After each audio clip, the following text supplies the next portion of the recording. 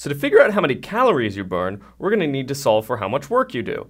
And we know from the work energy theorem that the work you do is equal to the change in energy of the weight. And the change in energy of the weight is equal to the change in its kinetic energy plus the change in its potential energy. Well, the weight starts at rest and it ends at rest too, so the change in kinetic energy is zero.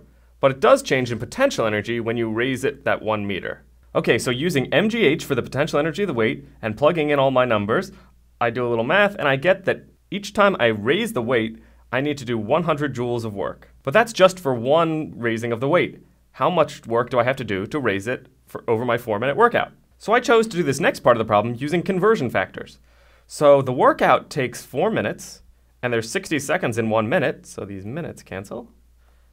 And we do two thirds repetitions per second, so the seconds cancel.